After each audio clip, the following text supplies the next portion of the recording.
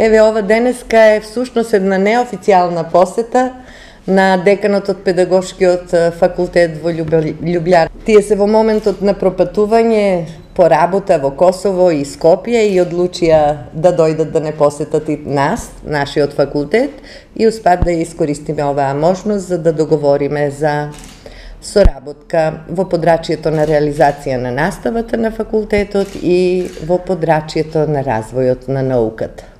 Главно дискутираме околу склучување на договори за студентска и наставничка мобилност во рамки на Еразмус плюс програмата, учество и реализација на различни видови конференции, можности за може би joint програми заеднички, се запознаваме во моментот и главно разговараме околу можностите за zajednička sorabotka. Well, our university, University of Ljubljana, is the oldest and the biggest university in Slovenia. It was established in 1919, so very soon we will celebrate our 100th anniversary.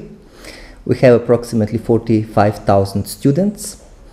Uh, and our faculty, Faculty of Education, is also the oldest and biggest faculty of education in Slovenia. We have approximately 2,700 students. We have different departments from preschool, primary teacher education to subject teacher, and we also educate um, experts, uh, professional workers who will know how to work with children with special needs in three different programs special and rehabilitation, uh, pedagogy, social pedagogy, and speech and language therapy.